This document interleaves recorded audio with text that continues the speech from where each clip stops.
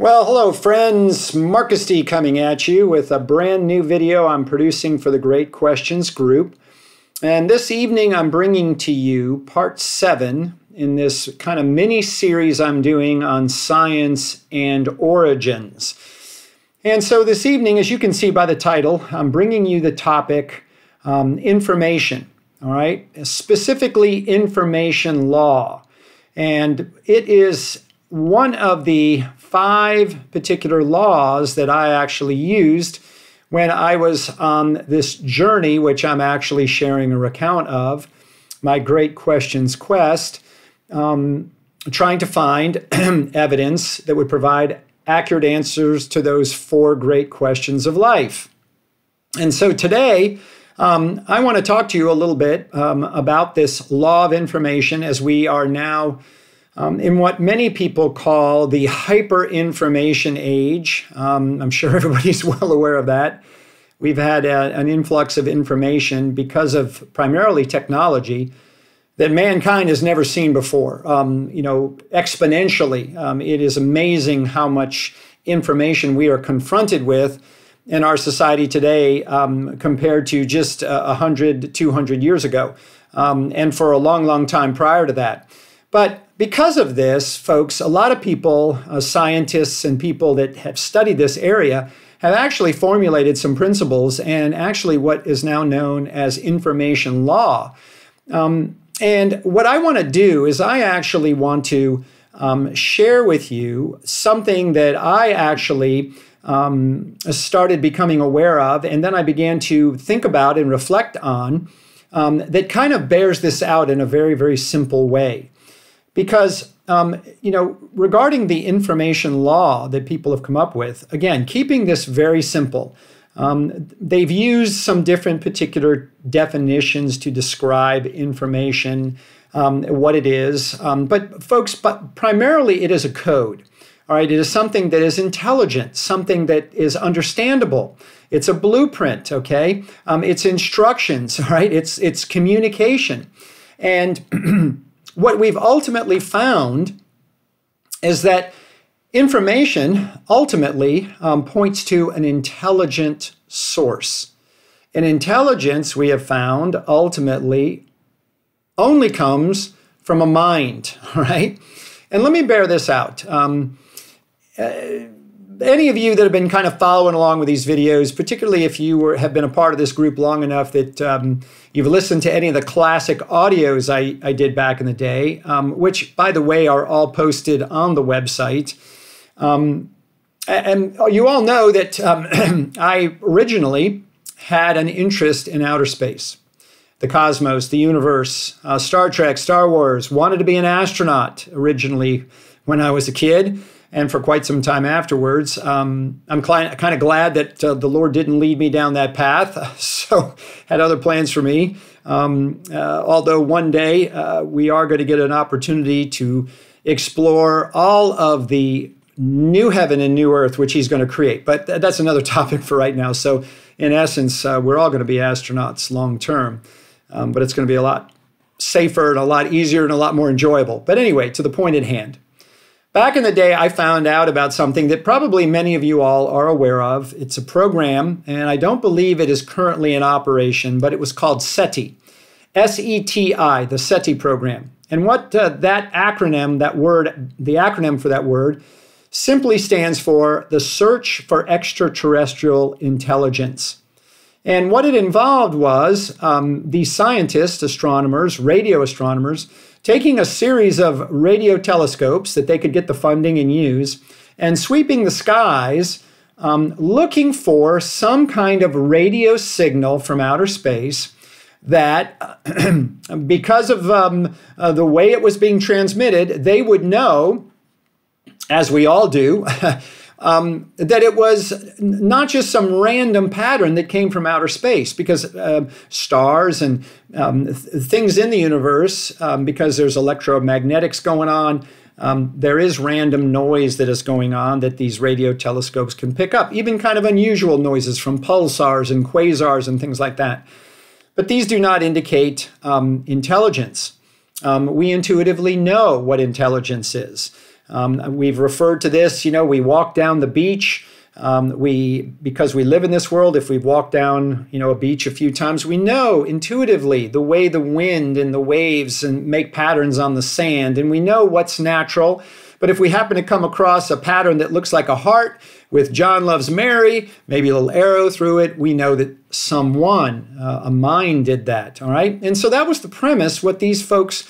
Um, uh, you know, were setting out to do. And I was very intrigued by that because at that point in my journey, I had been so repeatedly taught that life had, evol- had evolved on this planet.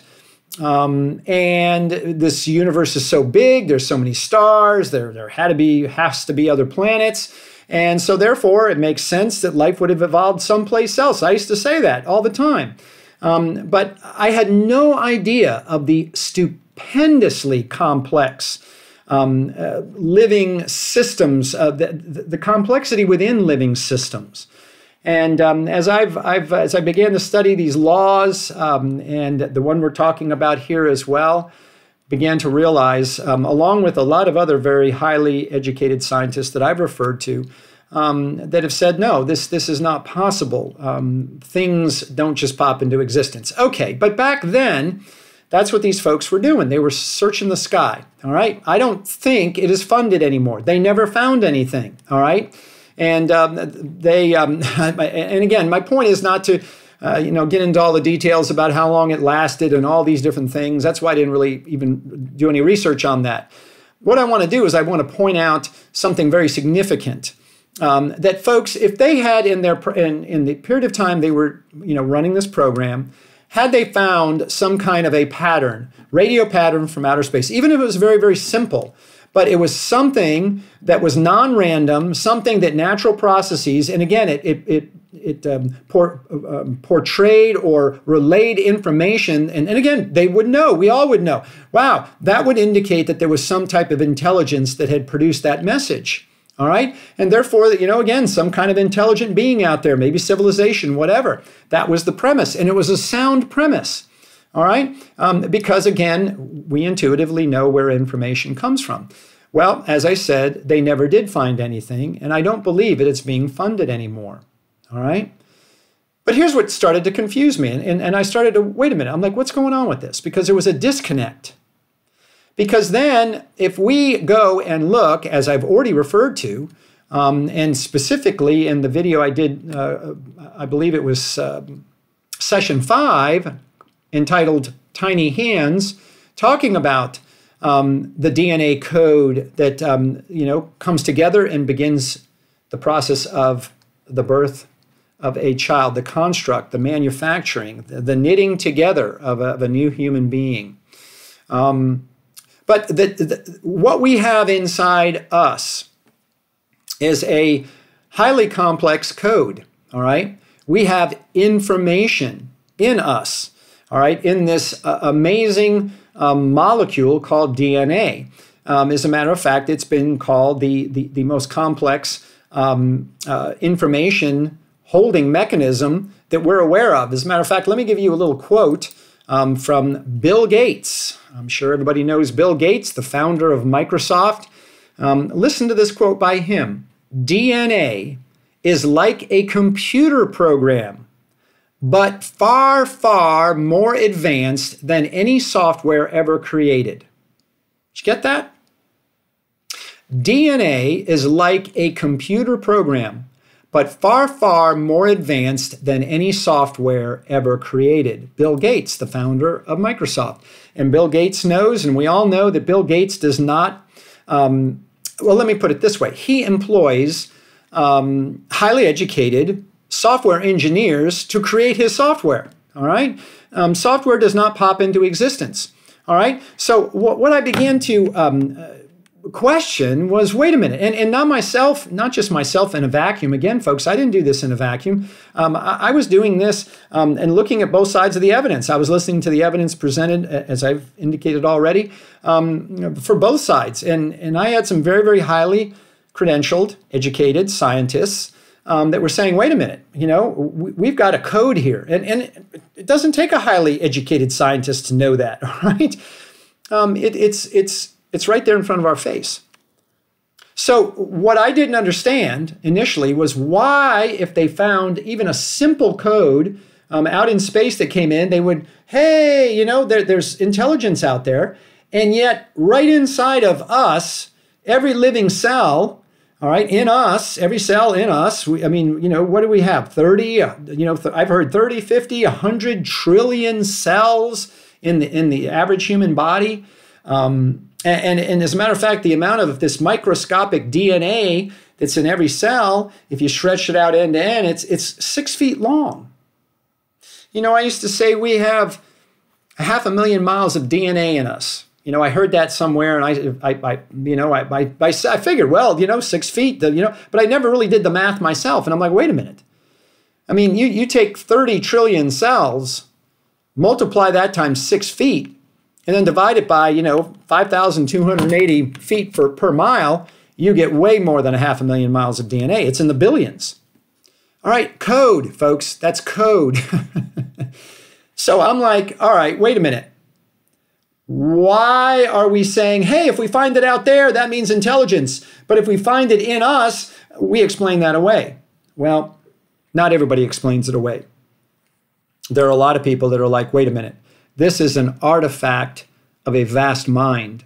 This is evidence of a vast mind. This is the handwriting of, a, of an infinite creator who has the capability uh, of doing all this. I mean, you know, building up the atoms and the molecules um, that he used to write the DNA with. All right. And, and so, um, what's the situation here?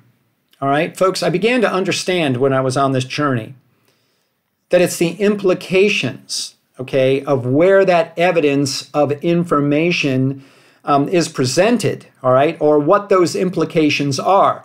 The implications, if we found it out in outer space, means hey, there's another, um, uh, you know, there's intelligence way out there, uh, there's some other civilization way out there. And, folks, the essence of what it really does, a lot of people believe, is somehow it would validate the fact, well, you know, we evolved here, they evolved there, all right?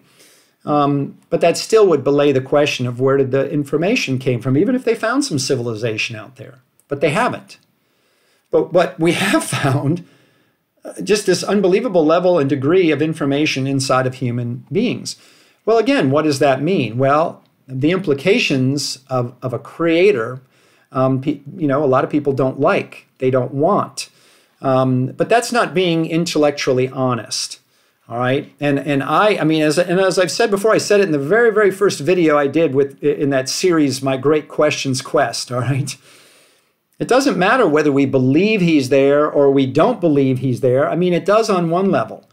But re- what really matters is the does the evidence point to whether he's there or not? Because based on what the evidence, you know, if that evidence is there and it's you know, it's pretty compelling if not outright conclusive, then it's far better for us to you know acknowledge that and align our beliefs up with what is real. Because just pretending he's not there if he is doesn't make him go away. We're, we're going to all have to deal with him at some point in time.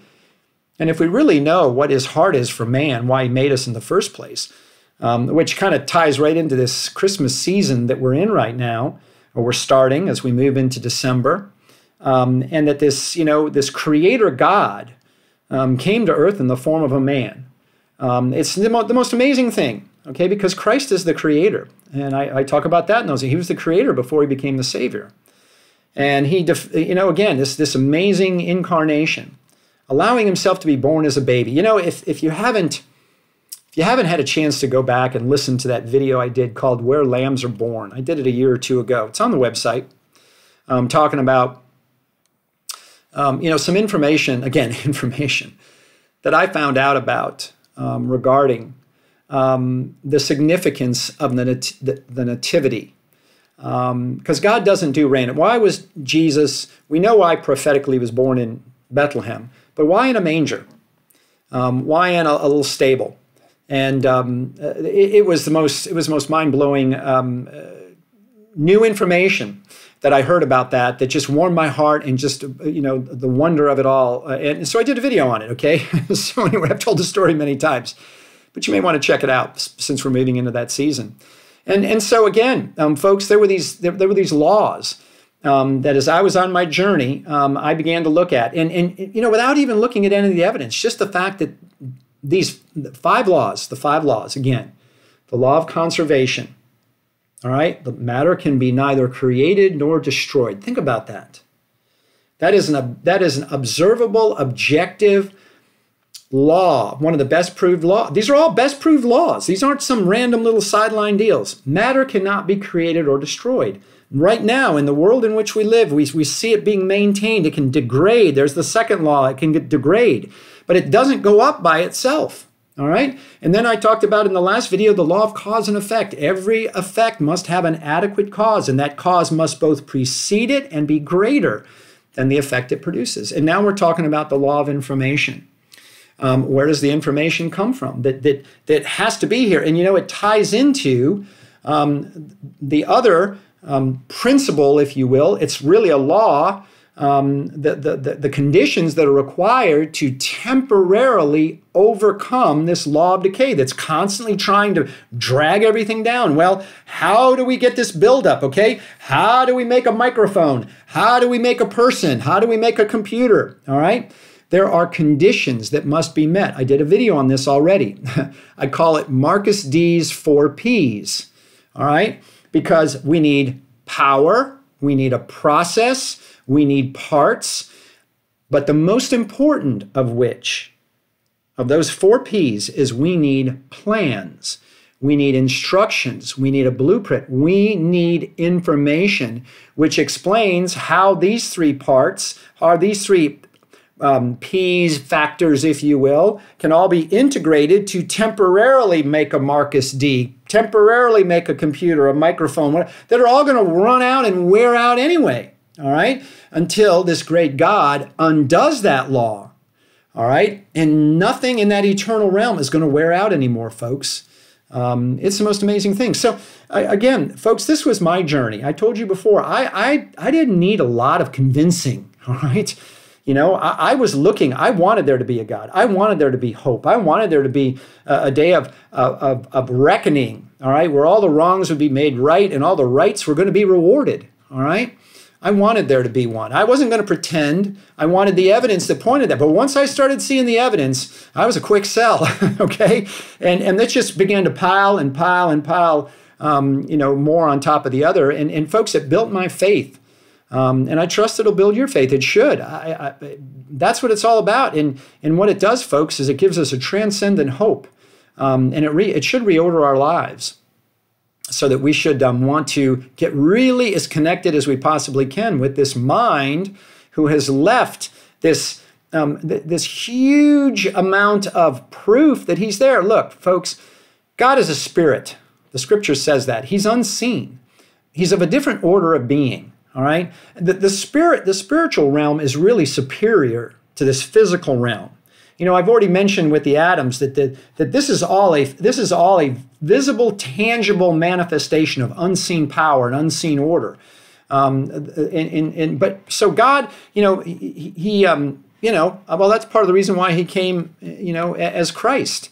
Um, we got to remember, okay, Jesus who walked this earth, Jesus of Nazareth, um, what we saw on the outside was not who he was, okay, or what they saw. We have we you know we haven't obviously seen it.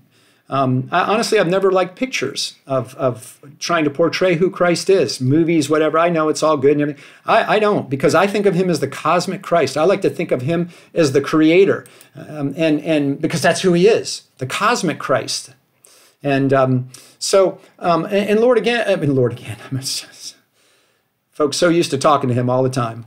Um, that's the mode we should get into. He should become our best friend. He should because he's the one that's there all the time. When when heaven and earth, one of these days, time as we know it's going to be gone. Heaven and earth are going to pass away. All the people we know are going to be gone. Yeah, they're going to pass over to the other side. But the, but the ultimate reality, it's not going to be, you know, people, oh, I can't wait to see so and so when I get to heaven. I can't wait to see my wife. I can't see, wait to see my kids, my grandparents, whatever. And that's all fine. That's, that's all well and good. But what about this great God? How hungry are we to see him? Um, I'm, I'm going to tell you what, when we do see him for what he really is, we're not going to really be too interested in seeing anybody else for a long, long time.